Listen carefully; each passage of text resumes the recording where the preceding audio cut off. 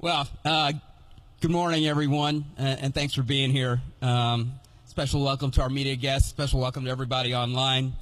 Um, it's obviously a, a, great day. Great to be here at the Job One ceremony of, of the all-new Ford GT supercar. Uh, hard to believe a journey that we started uh, a little bit around three years ago.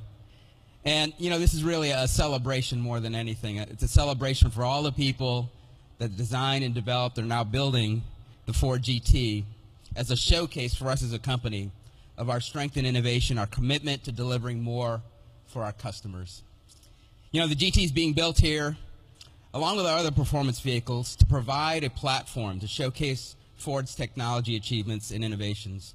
These are the technologies that are going to make a significant impact across our entire lineup, whether it's the lightweight materials, the aerodynamics, the EcoBoost technologies. And what an exciting journey it's been in developing those technologies. And what an incredible team that's brought us here today. You know, in late 2013, we brought the team together, the Ford GT team, together in a street, secret design studio deep within our product development center in Dearborn. And we told the team that we're going to build an all-new Ford GT. And the reason is first, we want to celebrate the 50th anniversary of that historic win at Le Mans where the Ford GT40 came in one, two, three. And second, we wanted to do it to show our commitment as a company to our capabilities in delivering technologies typically only offered in elite vehicles. The fact that we managed to keep it secret right up to the 2015 NAIAS Auto Show still amazes me because our friends in the media usually have a way of finding out things a little bit before we'd like them to find out about it. And as we developed the car from the outset, we wanted to ensure that we had a car that had what it takes to return Ford to GT racing. And so there were certainly challenging moments in that. Um, but in mid-June, we arrived at Le Mans, recognizing the eyes of the racing world were on us. Uh, as you can imagine, the pressure was pretty high. We had most of the Ford family with us, most of Ford management with us.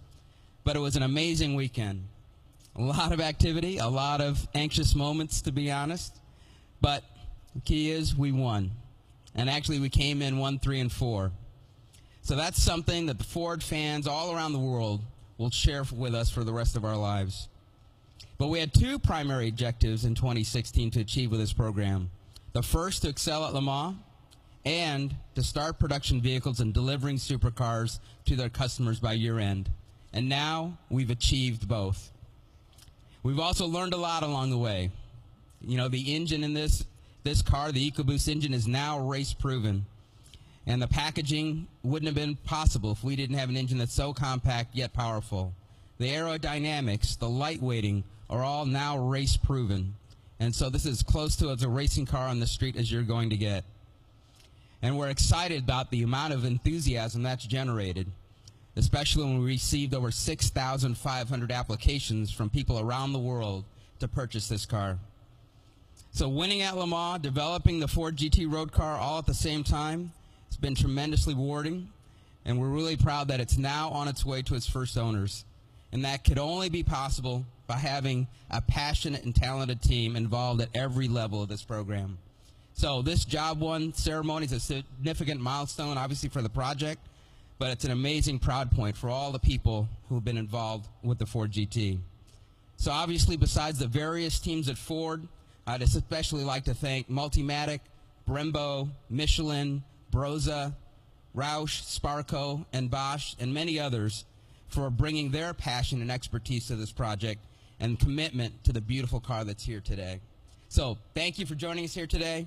I wish you all a very happy and festive season and happy new year and I look forward to sharing the Ford GT with you in the future. Thanks again, and thanks to all the fans that are online with us as well. Thank you.